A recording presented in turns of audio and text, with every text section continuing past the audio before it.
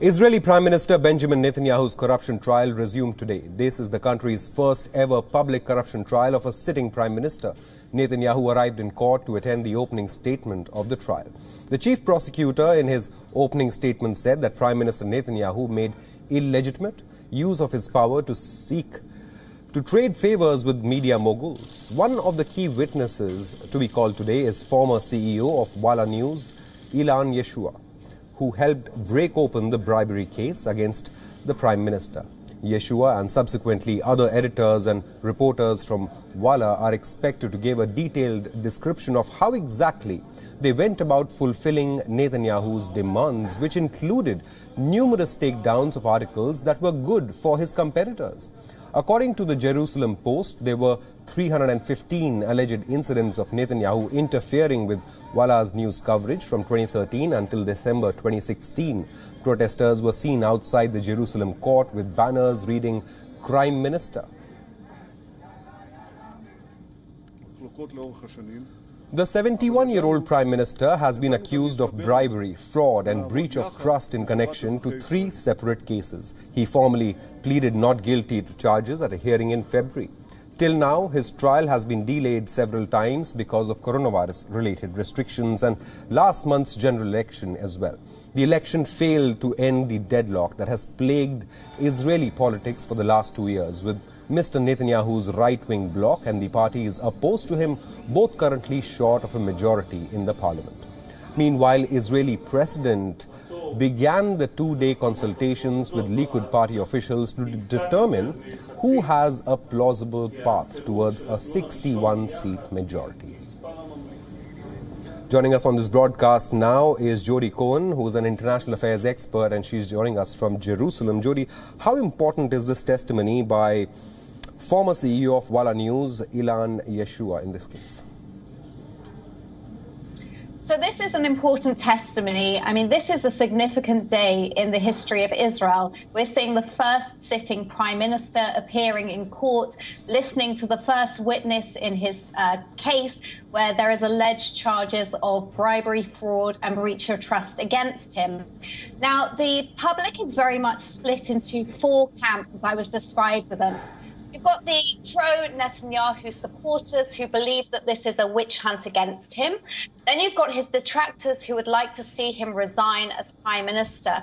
And then you've got those in between who either believe that the Prime Minister has the right to be considered innocent until proven guilty, like any citizen in a court case, um, or those who believe that even if he is charged, that these are in fact minor charges. He's alleged, um, he's accused of accepting cigars and champagne, and of trying to get positive media coverage. And those um, supporters would say that actually all politicians try and get positive media coverage.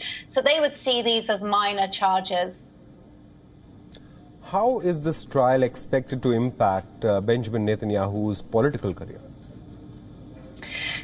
The trial has already had an impact. We've seen over the last couple of years, we've had a number of elections, and the public has been aware of these charges against Netanyahu. So I think those numbers are built into the um, the results of the election we're now seeing actually split screens on the television this morning in Israel. On the one hand, you've got Prime Minister Netanyahu appearing in court.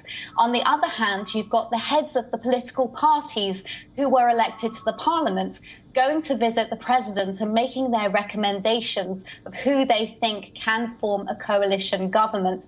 And so the court case today will possibly, will undoubtedly impact who those parties would like to see um, forming a, a, coalition government. But again, Prime Minister Netanyahu, he won the election, and he is the candidate who is most likely to receive the most number of mandates. Now, um, notes that I say he's most likely to receive the most number of mandates, that doesn't necessarily mean that he'll still be able to form a coalition government.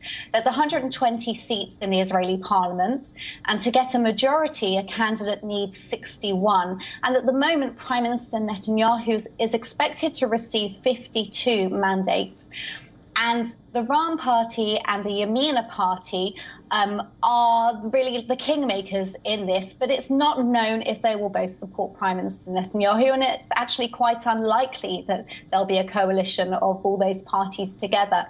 Now, President Rivlin um, will have to really make a decision on Wednesday he has to decide who he will give the mandate to try to form a coalition government.